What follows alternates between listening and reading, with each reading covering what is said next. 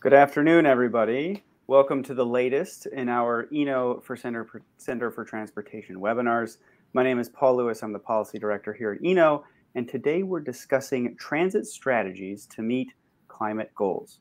Um, we know that cutting greenhouse gas emissions from transportation, which in the United States accounts for 29% of total emissions, um, is going to take a multifaceted approach, lots of different strategies.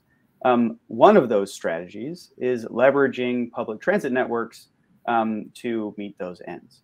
Um, that's going to be uh, an opportunity and also a challenge, uh, in part because COVID has slashed ridership. Um, it's posed uh, looming financial problems for transit operators, um, but it's also an opportunity to rethink regional transportation net networks and operations and adapt to changing travel patterns and demands. Um, so today we're talking about not just how transit agencies, but how regions in general are deploying new incentives, policies, and tools to make transit part of that sustainable mo mobility initiative. Um, so we have uh, three uh, guests with us today to help talk through these issues. Um, we're, we're scattered all over the world. Um, and I'm going to introduce them briefly here. We have Sam Longman, who is coming from London at the moment. Um, so thanks for joining us in the in the evening for you. The he's the head of corporate environment at Transport for London. Um, and so again, thanks Sam for joining. We also have Anna Allwright, who is a strategy specialist at Cubic Transportation Systems, joining us from California. Um, and we have Jerome Horne, who is the director of transit leadership development at Transit Center um, from New York City. Um, so thank you very much for volunteering your time and expertise in this conversation today. And so before we launch into that, I just have a couple housekeeping items for everybody. Um, the, the format for today's webinar is a conversation, so there's no slides or PowerPoints. Um, I'll be asking the panelists some of my own questions, and then we're going to be transitioning to some of the questions that you all have on, uh, on the live webinar. Um, you can enter your questions in the questions box on the side of your screen at any time, and I'm going to get to as many of those as possible. Um, and while we don't expect any technology issues, we found that um, if you are experiencing some uh, individual issues, um, try refreshing your page. Um, that tends to work out some of those, those smaller issues. Um, if you're having other issues, please click the help bottom at the bottom left of your screen if you need more assistance. Um, and then we'll be emailing a recording of this webinar to everybody following uh, the, today's broadcast. Um, so with that, we're going to launch into the conversation. Again, really excited to talk about this issue, and and um, I'm going to pick on Jerome to to kick us off. Um, Jerome, given your role at Transit Center, um, you work with agencies, regions across the United States um, you know, one of the things that that folks are really interested in is is examples, right? Things that that that we've you've been seeing that we've been seeing um, that are working. Um, can you just talk a little bit about some strategies um, that regions are using to leverage their transit systems in this capacity, and and some of the the positive things that you've been seeing? Sure. Thanks, Paul. Uh, delighted to be here. So, uh, you know, transit is being seen more and more as an essential part of our fight against the climate crisis and emergency. And uh, a recent research analysis from the International Panel on Climate Change and the National Academies of Science has shown that improving public transit is a critical climate solution and a contributor to equity. Um, collectively, their work is showing us that internationally, shifting to public transit is an essential mitigation solution with very low cost that supports sustainable development goals. And in the context of the United States, if we are able to transform public transit, we could reduce emissions by the equivalent of 120 million metric tons of CO2 annually. And that's uh, about a tenth of the greenhouse gas reductions needed to decarbonize passenger surface transportation. Um, and the greatest impact from that will come from increasing transit ridership and associated changes in land use as opposed to simply electrifying transit vehicles. So I want to emphasize that you know it's it's not enough to to just electrify the vehicles, but we also need to make sure that we have service expansion uh, to help reduce those greenhouse gas emissions.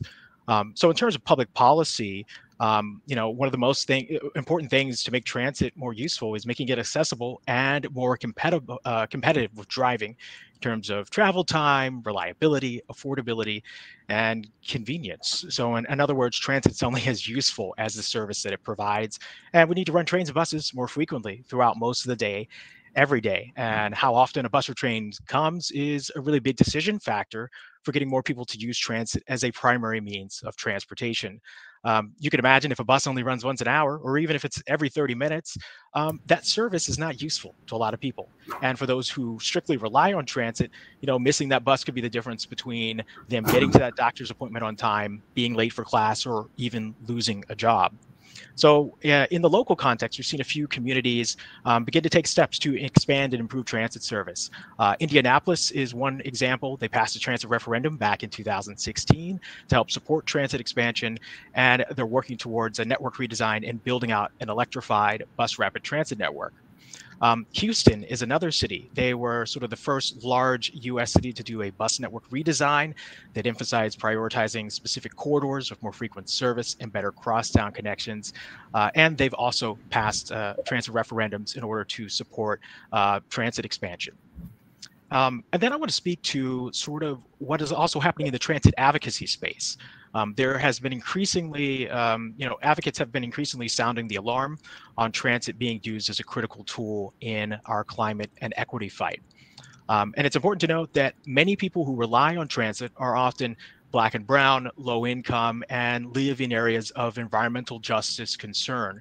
Transit can certainly play a big role in making these communities more equitable and work towards reducing GHG emissions. Uh, and one example of this is the organization Transit Matters in Boston, Massachusetts.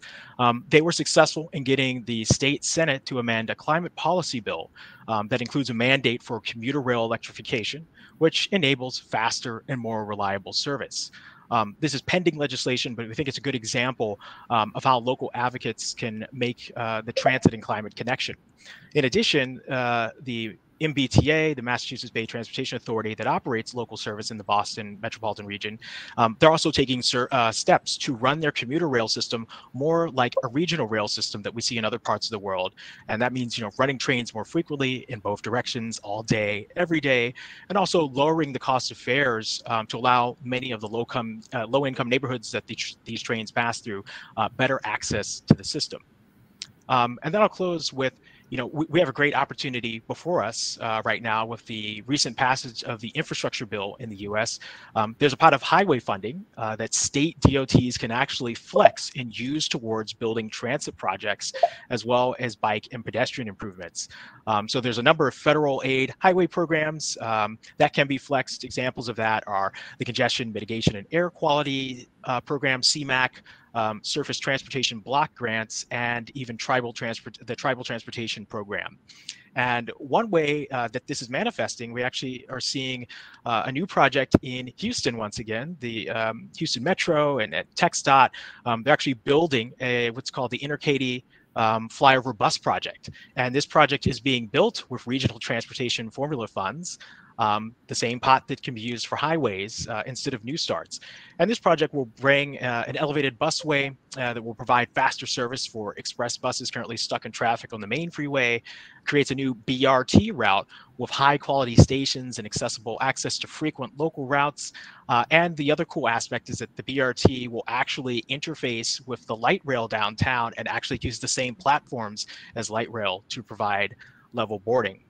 Um, and so I want to, you know, close with reiterating, you know, there's a lot of talk right now about electrification uh, of transit vehicles and buses in particular, and there's nothing wrong with that. But we also want to make sure that we don't get lost in, in that uh, the conversation doesn't get lost in um, really what's most important and what's going to cause that sort of tectonic mode shift is that we can make transit more convenient compatible, accessible, and and most uh, most importantly, frequent and, and available. That's really uh, probably the best thing that we can do in terms of, of policy and and using transit uh, as a, as a resource to help fight climate change. And and the final thing I'll say is that we're also seeing some exciting examples of transit systems beginning to think about land use uh, and zoning, particularly transit systems that may have park and rides or, or stations with huge parking lots are beginning to look at TOD opportunities um, affordable housing included as well, um, ways to help you know reduce people's need to drive and keep people um, in close proximity and access to transit. Very good. You know, it's it's funny as you're going through that, um, you're you're addressing the questions as they're coming in. Right, there's a lot of questions that have been coming in as as you're talking, and you're hitting on a lot of topics that I want to I want to drill into here in a few minutes. But I want to um, uh, next shift over to Anna. Anna, you've at Cubic, right? You work with transit agencies all over the world, right? Yep. And and have a lot of uh, interesting examples. I mean, what are you seeing as some strategies that are coming out um, in the U.S. and globally that are that are that transit agencies and regions are using to um, to uh, uh, address climate change goals? Yeah, absolutely. So there's not really a one size fits all approach because every city is dealing with their own unique sets of issues. Um, some of the things that I've been seeing that's really positive in Australia, you're starting to see in places like Sydney, Victoria, this consolidation of their transport agencies. So bringing together, you know, agencies that previously funded uh, roads and public transport in isolation and operating in silos, now coming together as this kind of mega agency. So we're coming together and having this more cohesive planning approach so that it's not public transport competing with roads and roads projects and not kind of cannibalizing or taking away from public transport. But now it's uh, having a more multimodal and holistic view of how we manage the network and share data. So, just as an example, in Sydney, they're in the middle of deploying their first fully multimodal transport management system. And this is going to allow better shifting of de uh, demand and supply between driving public transport and make the network as a whole more responsive.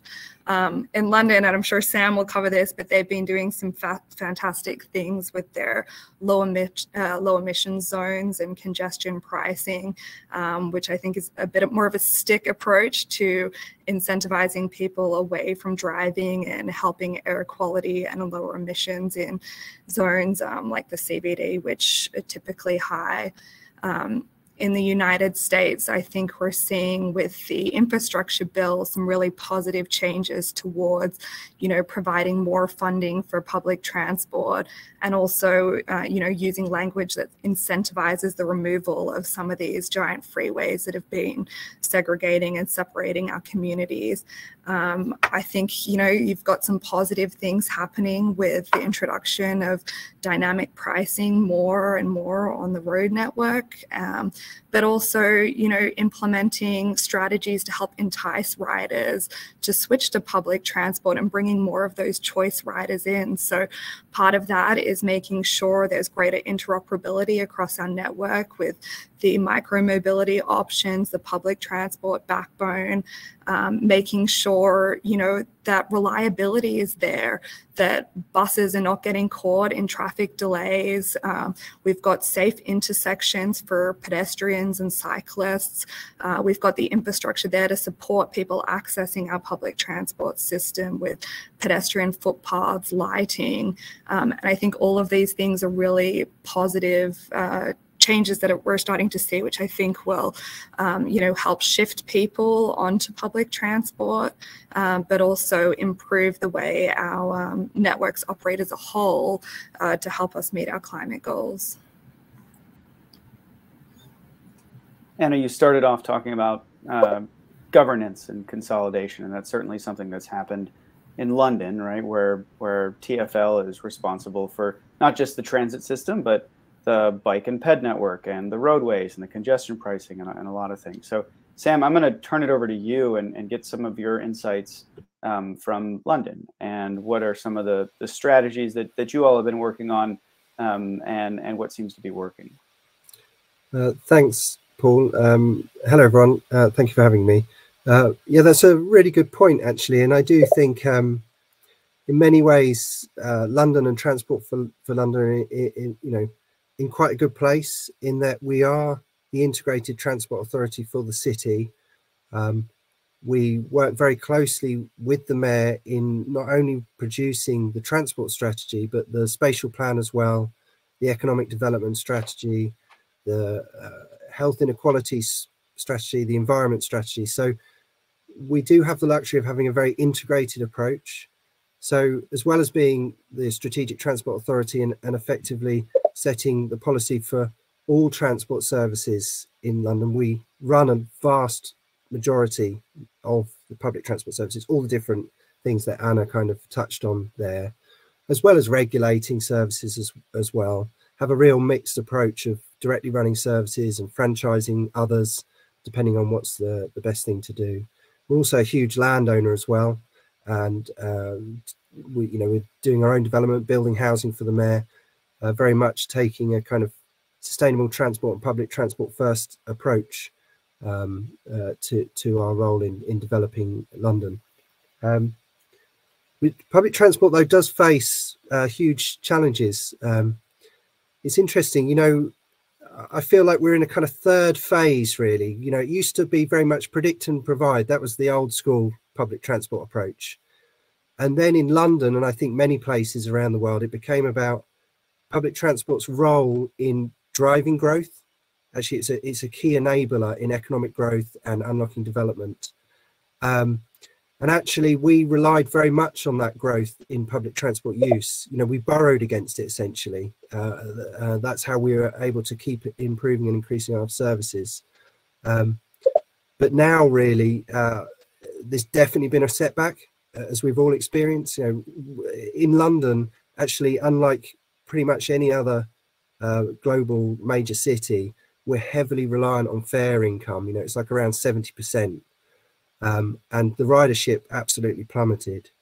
Um, and so we're really having to rethink um, our strategy. Um, we're not going to get back uh, to 100% pre-pandemic levels anytime soon.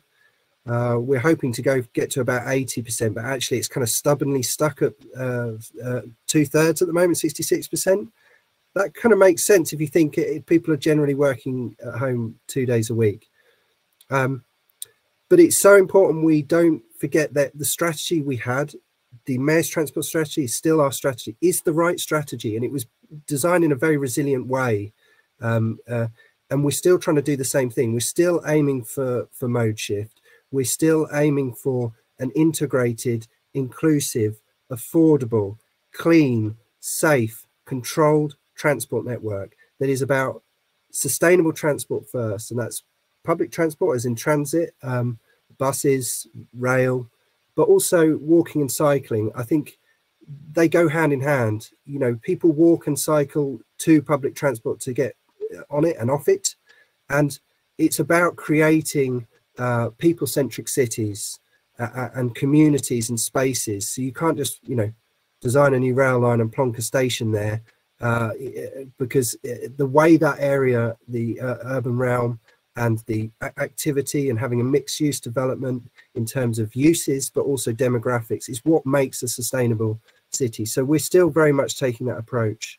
And our transport strategy actually has a, an uh, explicit policy in it that says, policy 23, one of my favorite policies, um, I'm sure you all have your favorite transport policy. It basically says we don't know what the future holds. And actually, we're all experiencing, you know, the world's accelerating, technology is accelerating. That's not going to stop. We're going to keep accelerating. So we don't know what's coming down the line. But whatever comes down the line, it has to conform to this policy. All those things I said before, and Anna talked about, and Jerome talked about, inclusive, safe, clean, etc. Um, so I think generally, you know, our, our, our, as I say, our strategy is, is still the right one. Um, uh, we, you know, we've there's been a lot of focus in um, uh, maintaining that confidence in in the network, uh, making sure that you know we're we're doing the cleaning, we're making sure that's overt, um, that it that it feels safe because we've the the private cars and road vehicles has bounced back, that got very quickly back to nearly 100 percent, and we don't want to have a car uh, led recovery. Um, so it's really important that we maintain that confidence. It's really hard with the funding situation because if you can't maintain your asset base, you end up in a downward spiral because we will always only run safe services. So if we can't maintain our assets, we're going to have to reduce services. And if you reduce services, you reduce ridership. Then you reduce your fare income. Then you've got less money to invest in services. Whereas there's a spiral that goes the other way.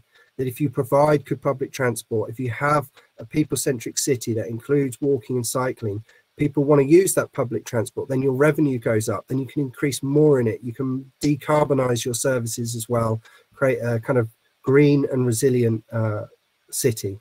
Uh, so it's a very challenging time. And, and I, will stop there because I'm sure we'll come on to some of the strategies we're, we're thinking about in terms of how we adjust our approach based on those suite of available uh, powers and policy options that we've got. Thank you. Appreciate that, Sam. And I, I want to bounce back a question right to you because there's there's a couple comments coming in on, on the questions function, kind of um, getting at that the spiral, right? I think everyone recognizes the the death spiral, right? You know, reduce service, you reduce ridership, and it kind of it, it, that naturally unfolds that way. But the virtuous cycle doesn't seem to be holding up like it used to, right? We're we're in many cases providing more service, or we're adding in new bus lanes, we're making improvements and ridership is stubbornly kind of stuck. Um, and you know, I think if we're trying to, especially planners and and and folks at agencies and, and people that are that are working on these things, how can they be sure that these strategies are going to get the intended outcomes? Perhaps maybe not in the next 12 months, but but down the road. I mean, what what what level of confidence do we have that that virtuous cycle is going to play out in a very different era? Yeah, I mean, it's a it's a very real question. And my response is we need to be careful as kind of public transport people or transit people not to get high on our own supply. The purpose of transport and a strategic authority like TFL is to create a sustainable city that's inclusive and that it's safe and, and everyone uh, can have a prosperous life. That doesn't necessarily mean we need to provide as much public transport as possible. We need to build as much. We need to get ridership up as much as possible so we can get the fare revenue in. Because um, that's the kind of consumption driven growth mindset. Now, I'm not saying we don't need more public transport and more ridership. In fact, I do think that. But we need to first think about what we are ultimately trying to build here. And it's a sustainable way of life. You know, we already know vast majority of people live in cities and that's going to increase.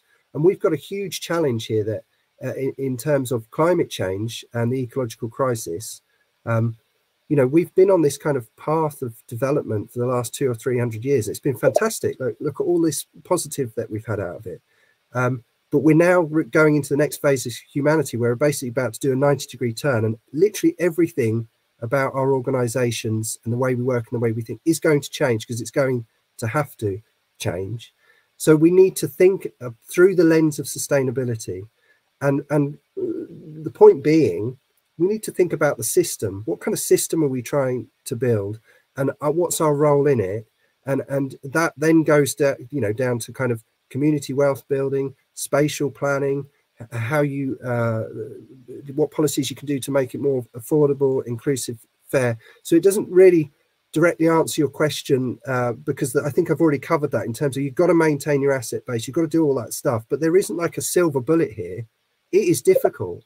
And actually, we've we have a defining policy in our transport strategy, which is 80% of trips by walking, cycling, public transport. That's still our goal. When TFL was set up in 2000, it was around 53. We're up to about 63, 64. Um, and, and we still need to, to, to focus on that defining goal uh, and, and uh, building a sustainable uh, city and thinking about uh, system change and our role within it.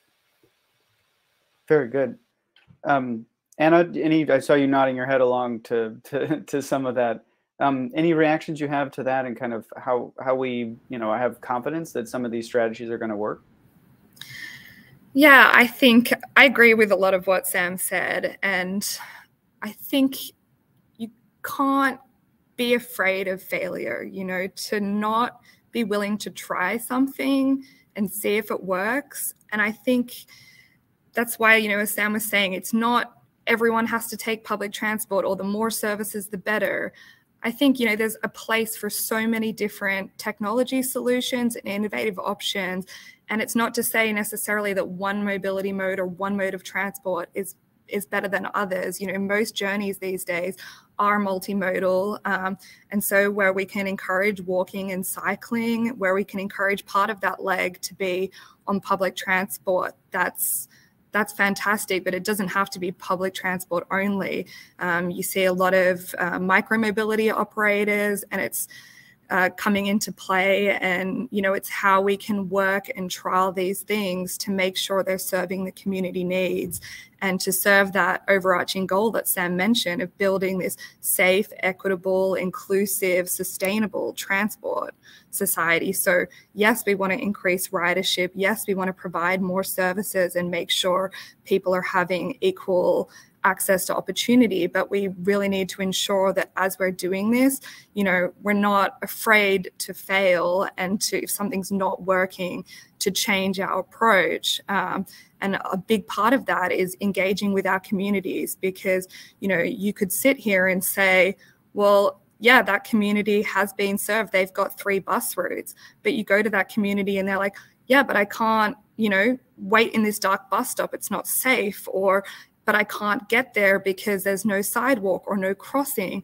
And so I think, you know, it's this big picture of trialing different things and making sure that, you know, what we're trying to do is not defined by, you know, trying to implement certain innovations or certain approaches. It's trying to meet, you know, that overarching community goal and that overarching need of what a sustainability city looks like. And that's going to be different in every every place. Agreed. Um, Jerome, I want to turn it back to you um, and, and see if you have any reactions to this, particularly on the, the, the financial side of things. you mentioned a lot of strategies that are, I think, compelling. Um, you know, you talked about commuter rail electrification and increasing frequencies and investing in bus lanes, right? Um, some of that I think can be paid through through IIJA money, right? Some of the the historic investment coming from the federal government.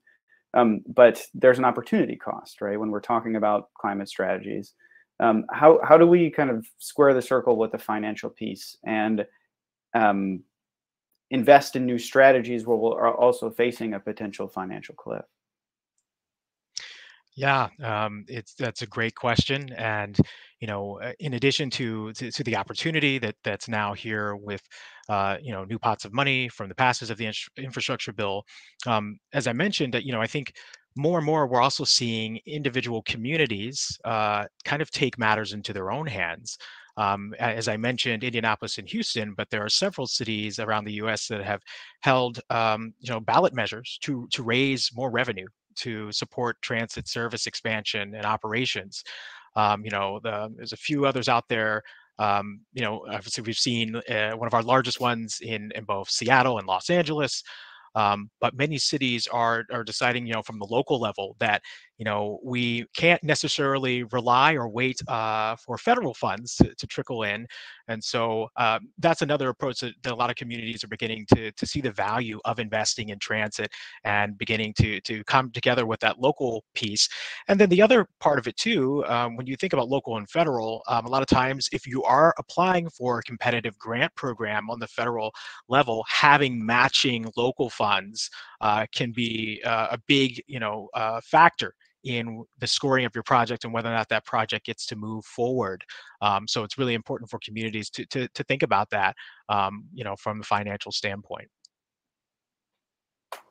So we're getting a couple questions um, that are similar to what I um, have here on, in my notes, talking about some of the non-transit strategies, right? I'm calling them non-transit because it's kind of outside of the jurisdiction of a, a normal transit agency related to things like congestion pricing, which a few of you mentioned, um, but also things like parking minimums or, or different kind of parking policies. You know, what, what are some strategies that we've seen in that realm that's working? Uh, and maybe we'll go back to you, Sam, because you have uh, congestion pricing in, in London. Um, has that, has that scheme changed at all um, during COVID? What is it meaning for transit? Um, and, and then also, and we'll go Sam and then Anna and then Jerome talking about some of those non-transit strategies that, that you think of are really compelling in today's uh, environment. Thank you. Yeah. Um, uh, one of the I just there's a there's a point I forgot to make when I spoke last time, and then Anna um, uh, actually made the point better than me. But it was about chipping away. So the mode shift there isn't a silver bullet. It's about all of those policies working together and chipping away. That, that's the point I wanted to make. Um, and also on the finance one, which is kind of linked to your non-transport uh, policy point, and I will answer your question. Um, I'm very keen that part of our suite of things we try to do is thinking in terms of place. there's actually, I think, a lot of potential private investment out there, but we need to package it up in a way that they can see how they can invest in it, where you, but in a way where you're not just cherry picking off the good stuff. So uh, we need to make sure we've got a, a good, strong project pipeline that we can put forward for that investment. Um, and you're kind of cross financing and you're doing blended finance, you're including avoided costs, grants, as well as things where there's a return, such as energy as service or any kind of revenue opportunities, like that. I think that's a really important part of um, uh, how we transition our cities, and it, and it's a you know it's a key part of um, non-transport policies around kind of you know we've got all these buildings as well that we need to to retrofit. So how are we going to do that? How are we going to do it in a way that's efficient and we don't end up with all the disruption of ripping up the roads to increase the kind of uh, grid capacity and things like that? Um, so we do need to think in terms of an overall integrated, joined up plan. Uh, um, so in terms of, uh, so your questions around non-transit policies, like congestion charging, you want me to talk about, don't you? That's right. Okay, so so the really important thing with all of this is, as we've been trying to do, is to sell the positive vision about what kind of life you're giving back to people. I mean, the, the our transport strategy is all about health, and uh, the, the congestion charge, um, interestingly, uh, uh, the, the support for it shot up after it went in. We did a lot of work on complementary measures as well. So it wasn't just the stick. People got all the extra public transport. They got their street environment transformed at the same time. You know, if you build it, they will come. And I, you know, I used to work in one of the London boroughs, and we often talked about this idea of having these beacons. If you can create an area and show people what it would be like, everyone else will want that. And with the air quality, I mean, our ultra low emission zone that's expanding, you know, and the mayor is now proposing to cover the whole city. It already does for, for larger vehicles, but for all vehicles. It's quite amazing, actually, if you think about it. You know, we're basically charging people where they used to be able to drive for free, essentially, other than, you know, cost of fuel and stuff like that. But the support was really high for that scheme. And how we got the support is we built the evidence base and we did the communication engagement about how it would personally benefit people rich or poor, no matter where they were from, their lives were going to be better because it was affecting children's health. And that's actually one of the great sells on on uh, action on air quality. We need to find a similar sell on action on climate change because that is a big problem that people don't. You know, if you're wealthy, comparatively speaking, you don't see how it's going to actually impact on you, and you're more concerned about economic growth. And there was a question in the chat about costs, and we know the evidence overwhelmingly says that investment in the climate transition will far outweigh the costs of the impacts that we're starting to see and will see in the future. So that's how our road user charging schemes basically are successful, um, is that uh, uh, we've sold the be benefits, we've had complementary measures, so it's not just the carrot. Also, the schemes have been very carefully designed working with stakeholders to make sure that um, we're really looking at the equality impacts and uh, that it's understandable and it's easy to use and, and therefore you get the big support. And in particular you need to get the people that don't drive supporting it and speaking up. We know as policymakers that people speak up when they don't like something but actually most people in london don't have access to a car we need them to speak up and say actually i want a cleaner city i want more space for green infrastructure for walking and cycling so i support this scheme uh, and that's you know we call it rolling the pitch you know like a cricket pitch that's basically uh, uh, the journey we're on now for this next phase of, of road user charging schemes. But of course, you need to do things like limiting parking supply in developments and on street.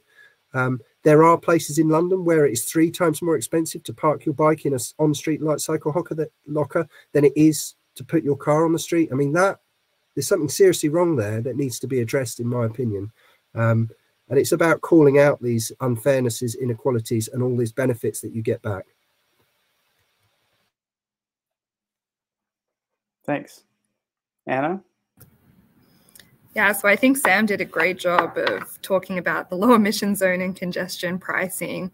Um, I think when we look at parking, so much of our, you know, public road space is desi designated to parking. And I think COVID was a great example of what, you know, a city could look like if we didn't need to dedicate this space. You know, we had lots of restaurants building outdoor dining areas and so I think there are some really interesting examples of what various cities are trying to do here with either limiting the the parking supply, um, charging for it uh, dynamically, whether you're a freight user, whether you're a commuter, to try and kind of prevent this this situation where we can't use that space for you know cycleways or bus rapid transit or dining parks and and other things. So i think um, there's a, a, very interesting uh, role that that's going to play moving forward in how we shape our cities and also um, you know with parking it's a it's a cost that doesn't really always get equated with the cost of your car you know it's um it's sort of external. You buy your car, you pay for maintenance, you pay for your registration, uh, you pay for petrol, and you pay for parking. But none of this is ever grouped together to be considered as one kind of holistic cost. The way you know someone who who lives in London knows they've got to pay six pounds for the tube, and it's probably going to cost six pounds back, and it will usually take this amount of time. And I think, you know, being able to communicate more of these costs to people and give them that real idea of how much their journey is going to cost, what the time cost of finding that parking spot is, uh, what the, the cost of, you know, the congestion charge, if it's dynamic, communicating that before it goes up and before you're sitting in congestion, um, in tandem with making sure those public transport services are an available alternative is important because I think you know, there's no point having dynamic road pricing if by the time the price has gone up, you're already in your car and already in traffic. You know, it needs to be communicated early so people have that option to make a different choice. And obviously, that different choice needs to be there. And I think this goes back to what we were talking about earlier with how agencies share their data and how we plan the implementation of these non transit policies with the rollout or addition of services so that it does work in tandem and people who who you know don't want to drive actually have the option not to and the people that do want to drive are paying for that that benefit. Um, but I, I do think we need to be careful when we look at the implementation to make sure we're not you know punishing people that don't have the alternative um, you know a lot of our more vulnerable populations are transport dependent and and a lot of them are also car dependent because of the lack of that the availability of services. So we need to make sure when we look at, you know, taxing uh, non-electric vehicle owners, implementing congestion zones, that you know we are giving people an option because otherwise we're just going to be harming the more vulnerable uh, transport users and road users. Very good. Jerome, I want to make sure you have a chance to, to chime in. Yeah, uh, Sam and Anna have done an excellent job uh, talking about different strategies. Um, I'll just say, you know, I think the saying goes, every great transportation plan is also a land use plan. Um, you know, and we can't think of them as separate things. A lot of times you tend to think of a, a specific transit project in a silo.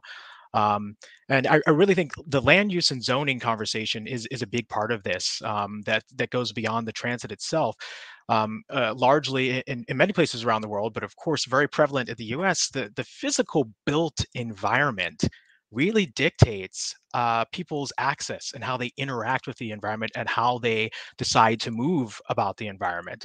And uh, as we know, we, have done a lot of damage with building highways, you know, through communities, uh, particularly Black and Brown communities, and, and disconnecting, um, you know, people from from access and having a, a comprehensive um, community feeling. And then, uh, as Anna mentioned, we have a lot of folks too that are, are, priced out of living in neighborhoods that are more walkable and dense. And so there's a saying you have to drive until you qualify so they can afford a home, but that home might be ex-urban or almost rural, and access to transit is very little or non-existent. Um, so I, I, really think you know cities, uh, transit agencies, local governments really need to think more comprehensively about the the design of the physical built environment and can we retrofit suburbia can we think about ways to you know provide better connections and this this whole notion of complete streets i think really speaks to this where you know it, it, when you, i always laugh you look back at an old photograph of a city and you see horses and buggies and bikes and people and kids playing, right? And there's like all this stuff happening. And it's almost like we decided we went to this place of, okay, cars get the priorities, the streets only for cars. And now we're going back to realizing, wait a minute, like streets should be for everyone and different vehicle types and um, we should really be thinking about our communities as nodes. Uh, there's a big push for 20 minute or 15 minute uh, cities or communities and basically the idea is that you know every essential need in life is a, a short walk away or a, a short ride on on public transportation or bike um, uh, to get uh, access. So yeah, definitely uh, the, the physical built environment, land use and zoning um, is important part of this and figuring out how do we um, allow more people to to share the pie and the riches of uh, living in a walkable community. Yeah, I'm glad you brought up land use because that was the the next thing I wanted to to talk about. So that was a, a perfect segue.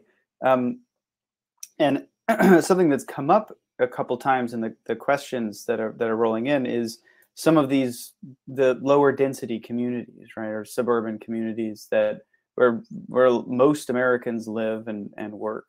Um, uh, how how do we uh, retrofit suburbia? How do we provide options beyond the the communities in this country that have been traditionally built for for public transit access?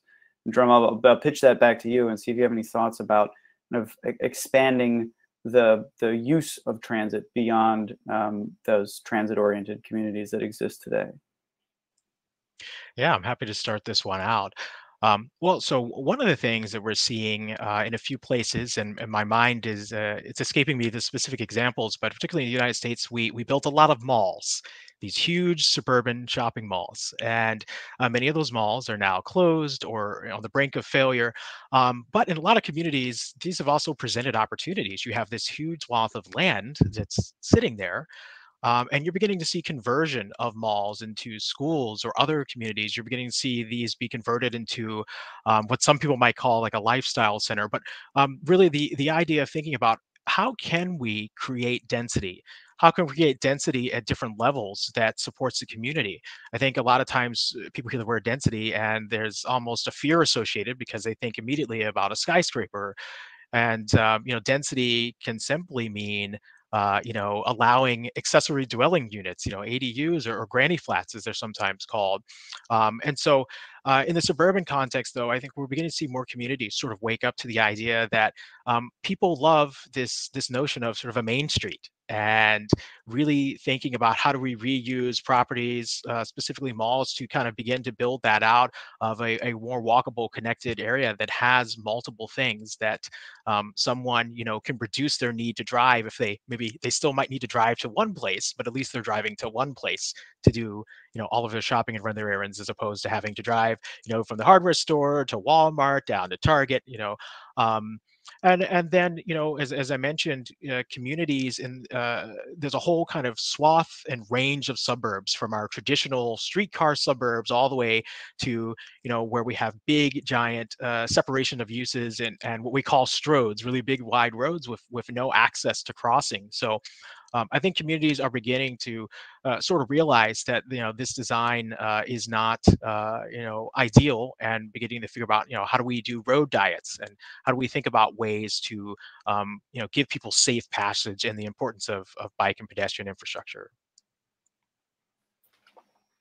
Very good. Thanks for that. And I'm mindful of the time. We got about 15 minutes left, and there's there's still a bunch of questions coming in. So I want to shift gears a little bit and pick up on something that both Sam and, and Anna talked about, which is the relationship between the using transit as a tool to, to address climate goals, but also using transit at the same time to address safety and health uh, and, and those kind of outcomes. Um, and, and I want to turn this one to you next. I mean, what, what strategies are you seeing um, that kind of hit all those three uh, things at the same time and how do we make sure that that it that our strategies are multifaceted um, when we're when we're looking at, at different ways to allocate resources? Yeah absolutely. Um, i think jerome mentioned in his opening sort of statement that we need to think about sustainability you know more than just greenhouse gases. You know that's one big component but it's not the only component I think sometimes the focus on this has led to a lot of the conversations centering on electrification of our transport fleet, electrification of cars and single occupancy vehicles. And even though this is a really important piece of the puzzle, it's not the only puzzle because we run the risk of then just swapping, you know, 20,000 cars for 20,000 electric cars. And this does nothing to, you know, alleviate congestion, give people, you know, more reliability in their journey time, whether they're driving or using public transport. And mobility is so key to equality. Like mobility is access. It's access to school. It's uh, access to, you know, work. It's being able to, you know, not just get a job, but arrive consistently on time for that job so that you can advance through the ranks. And without, you know, providing this access to mobility options, whether it's public transport, yet whether it's for the whole journey or part of your journey, is going to be so critical to helping these communities, you know, move up and and access this opportunity. And so when we think about what is going to provide the greatest overall good, it's not electrification, it's giving people more mobility options. Um, you know, if we provide better public transport and get more people into public transport, not only does that have a benefit through taking more cars off the road, it helps alleviate congestion, which has an economic benefit for the whole of the city. Um, it also like gives us options for how we use that land instead of having these eight lane highways that you know separate communities. We can have you know bus rapid transit lanes. We can have cycleways. Uh, we can have you know rail. We can have parks and pedestrianship. And so I think when we talk about sustainable cities and have that climate change debate, we shouldn't be putting our blinders on and just focusing on you know climate emissions uh, carbon emissions. We we really need to be thinking about how do we connect people to more mobility options. So part of that is increasing public transport services. Part of that is making sure the new modes that are coming available are working with our public transport networks and not cannibalizing it and making sure they're deployed equitably across communities. Um, and then as well, when we look at things like congestion pricing and those non-transit options, making sure, you know, we've properly uh, talked to the different communities and made sure the way that we're implementing them is not going to adversely impact, you know, black or brown communities or other communities that have been made vulnerable, whether due to age, income. Um, and I think, you know, even when we do look at the the carbon emissions and air quality, you know, again, there is a big equity component to that. Um, you know, zoning laws, Highways Act, you know, all of these policies in America were built to to separate and segregate our communities. And has meant you know specific communities do have like higher asthma rates. They are more at the forefront of a lot of the damaging outcomes of climate change. So we need to be very mindful of this when we look at what policies we're choosing to pursue and implement. Sam anything to add to that no, I think uh, Anna nailed it. I don't have anything to, to add. Okay, or Jerome? That was fantastic. Okay, very good. Um, so I think one of the things that keeps coming up is the the financial um, component, um, and people in the the uh, on the the live webinar here are really concerned about how we um, balance strategies to invest in transit, right? Whether that's increased operations, whether that's new rail lines, uh, new bus lanes, right? With other climate strategies like electrifying the bus fleet um, or um, things that are not transit related that that also could affect the the overall uh, climate strategy. So how how do we kind of balance those kind of things um, in a comprehensive plan? And if we think that it's valuable, how do we raise the money to do it? I mean, I think Jerome, you mentioned ballot measures. Sam, you mentioned congestion pricing.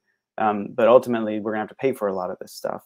Um, I, am not sure if in, any one of you wants to jump in on this question, but it's there's a, a few folks that have asked about this specifically. Um, Sam, your hands up. Well, it, thank you. Yeah. So, I mean, it, obviously, those decisions can happen at many different levels can't they? So you know, government central level, you know, in terms of the built environment, retrofitting, housing, decarbonising industry um, versus transport. Um, uh, but we need to also um, just going back to that integrated approach. You know, it's not just about um, you know decarbonising the transport system in itself.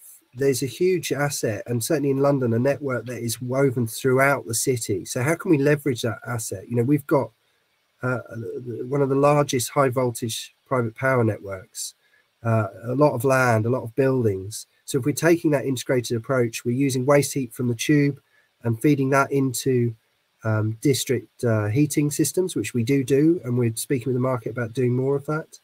Um, what can we do in terms of our huge electricity supply to be a, an anchor off taker? So can people build solar farms close enough to our network that they can supply local communities, but given that they need to, you know, they need uh, uh, someone with a large amount of demand to be that anchor off taker so that they, to make the project viable. So when the community doesn't need as much electricity, they can feed it through to us to put it in simple terms. This is what I mean about a place-based approach and really considering how we can work together and how we can package it up and uh, uh and present it uh, to the market.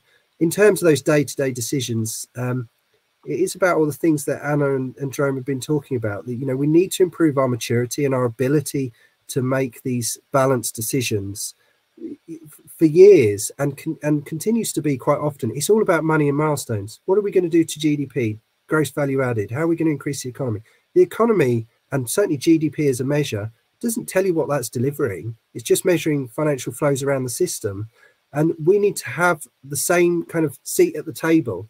So even if you were just looking in terms of um, uh, kind of it, it, benefits to, to GDP or safety and reliability, you're looking at an incomplete model because you haven't taken account of the impacts of climate change and how that's going to impact on your um, uh, your modeling. Uh, and as, as I said at the start, this is going to fundamentally change everything about the way we think. Whether you like it or not, whether you believe it's a big problem or not, it's just common sense. So if you want to be a successful city, if you want to be a successful organization, you need to put this at your core. You're simply not going to be around in the future. You're not going to be relevant. Um, and that is about developing those tools, as I say, and having that maturity and, and ability to make those decisions. You know, else want to chime in on that one? Yeah, I'll, I'll just quickly say that um, I, I, think in terms of raising general awareness and influencing um, elected officials. You know, I think uh, several of the problems that we have are are not technical problems, but they're more ones of leadership and political will. And I think this is where advocacy definitely plays a huge role. Um, people advocating and organizing and and kind of pushing for the changes they would like to see on the local, state, and even national uh, level. And uh, I, I, think that cannot be lost. That you know, in order to win this this fight for better transit, more funding, and and equity and, and climate um, you know, th- we really do need to kind of have more people um, sort of beating the drum about this is important to me, this is important to my community, and I want to see these changes happen. And so, um, I, I, do think it's really important uh, that that uh, that gets mentioned because uh, at the end of the day, you know, who people decide to put in office um, really does matter, and their policies and their beliefs, uh, you know, um, will ultimately shape the decisions that get made. Um, and I think Sam mentioned, you know, the people that that come to meetings or people that show up. Right? There's always the people who oppose something, um, but uh, we just as importantly need people who support something to show up, and we need to give a voice to those who may not have a voice.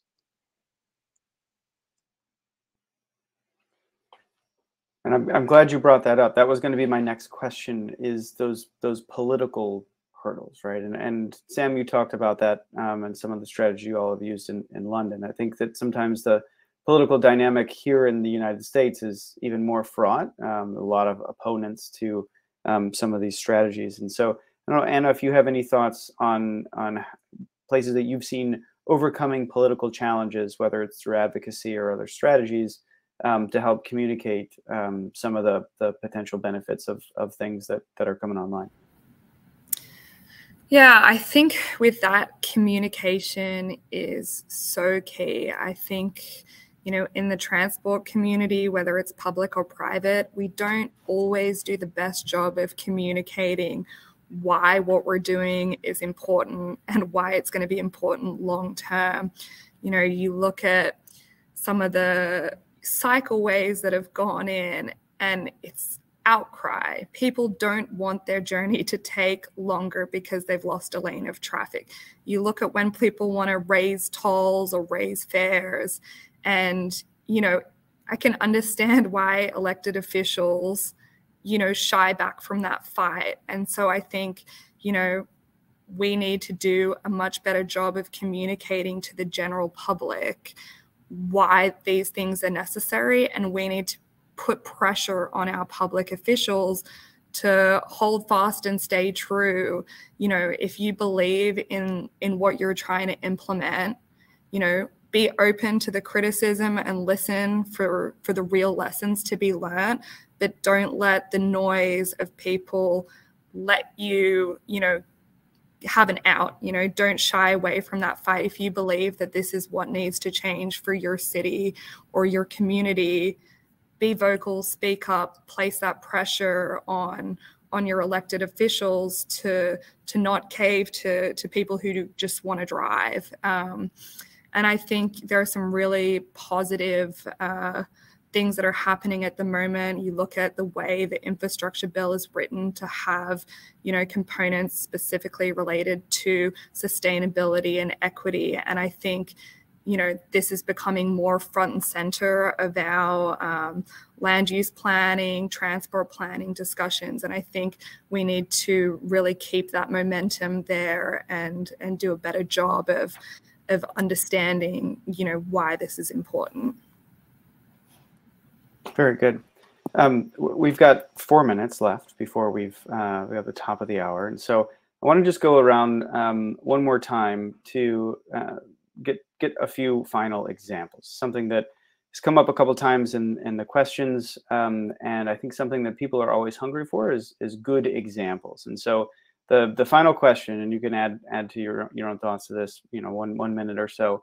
Um, when when you're looking for good examples of transit strategies um, that are trying to reach these goals, you know, what what regions globally or in the U.S. or wherever, where where do you look? um, what what are some of the the top regions that you think are, are doing really good things? We'll start with Jerome, and we'll go to Anna, and then we'll finish up with you, Sam. Yeah, so I'll close out by saying, um, just to reiterate a, a, point that I've made a few times, that the the biggest thing we can do to uh, make transit a, a more viable and competitive option uh, and a tool in our fight for equity and climate change is to run more trains and buses more often, all day, every day. I mean, we, that is just essential to uh, giving access and also allowing people to to uh, think about mode shift. Uh, that's really critical. And we've seen examples, uh, you know, all around uh, this country, large and small cities, uh, as I mentioned, sort of taking matters into their own hands in terms of, you know, uh, either ballot measures or allocating other funds to to increase service operations. And so, um, you know, there, there are several cities to look to um, but I, I, think ultimately, at the end of the day, we, we have to make transit so easy to use, so robust and prevalent uh, that it's a no brain no brainer solution and, and choice for for people that may have other choices um, to really get the results that we want to see in terms of reducing emissions and uh, access uh, to opportunity.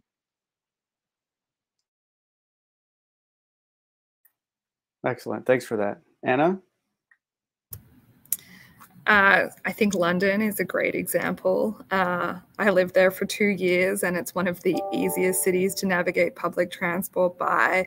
I think uh, they've done fantastic work with making sure, you know, um, residential developments are built close to transport links so that people do not live more than five to 10 minutes away from their nearest transport hubs. I think they've done a great job uh, implementing cycleways through the city and having the Santander bike program readily available for people to use if they don't want to take public transport. And I think uh, also the work they've been doing with congestion low emissions pricing is, is fantastic.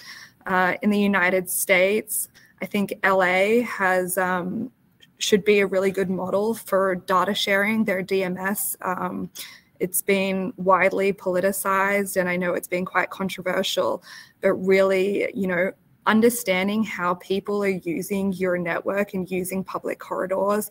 If you don't understand where people hop on services, where people get off, why people are choosing different modes, why, when they travel at different times, you're really never going to know how your network is being utilized and then be able to make sure it works more efficiently and better for the people who who need it. So I think um, they're a really good model for for mobility data sharing.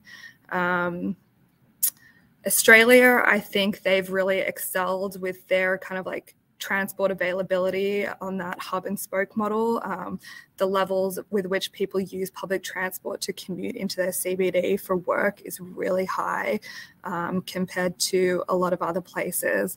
And obviously, this is going to be challenged by by COVID, and we're going to need to think of more creative ways to to use, you know, whether it's mobility on demand, public transport, or or other options to to connect uh, communities now that they aren't necessarily traveling day in day out to to the one place. But i think there is some really great uh, great work that that people are doing and i think it's just important to recognize as sam said there's not one silver bullet. You know london benefits from being a small dense population which you know is very different to la where it's very spread out, and that obviously raises more challenges with service provision um, and connecting communities. And I think we just need to, you know, recognize for a moment that's not about one technology or one answer. There are lots of great companies developing fantastic solutions to mobility challenges, but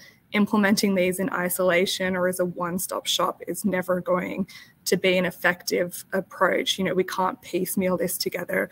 It needs to be strategic um, if we're going to get to this place where we have that highly operable network where all these policy levers, you know, incentivization and, and provision of service is going to create the outcomes that we want to see. Thanks for that. And we'll go over to Sam. I, I'm sure you appreciated Anna's answer about TFL, but or in London generally. But uh, yeah, I'd like to hear your kind of closing thoughts here before we wrap up. Thank you, and thank you, Anna. Um, when when it comes to kind of sustainability and taking a whole, whole system approach, uh, they are smaller populations, so so less of a challenge. But I think we could learn a lot from countries like Costa Rica, Cuba, and particularly the Scandinavian countries. Um, it's very hard for us, me, um, you know, to, to think very much in terms of UK and, and US. And I think in the US, there's a, a, big problem there, we must admit, just thinking the world is the US and then the baddies, and I won't name names. Um, but there's a lot of other countries where actually they have a better quality of life because they really do put people first and they take a sustainability approach. We didn't get time to talk about it, but uh, definitely worth looking at Copenhagen in terms of their adaptation approach. This is a massive problem. Most of the money is going towards mitigation. Most of the money is going towards new technology as opposed to system change. We've got to deal with it all. Uh, and adaptation is a massive underdog when it comes to uh, the climate uh, change challenges that we face. Well, well said. And uh, I, am agree that we could talk about a lot of this stuff for for in a much longer conversation. I've, I've certainly enjoyed the discussion today. I want to appreciate or, thank all of you and, and very much appreciate your time um, this afternoon talking through some of these big challenges. Um, again, we hope to continue this conversation uh, in future webinars, future discussions. Um, thanks everyone on the line for joining and, and a special thanks to our panelists for their thoughts and expertise. Um, and we hope to see you all on the next webinar. Thanks everyone.